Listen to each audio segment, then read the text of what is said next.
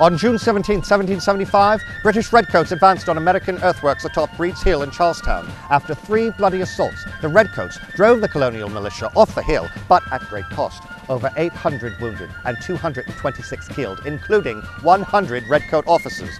Furthermore, the battle demonstrated that relatively inexperienced colonial forces were willing and able to stand up to regular army troops in a pitched battle. What would mistakenly come to be known as the Battle of Bunker Hill was a British victory, but an American success. General Nathaniel Greene said, I wish we could sell them another hill at the same price. This Day in History brought to you by the Freedom Trail Foundation, partnered with the Massachusetts Teachers Association to bring history to life.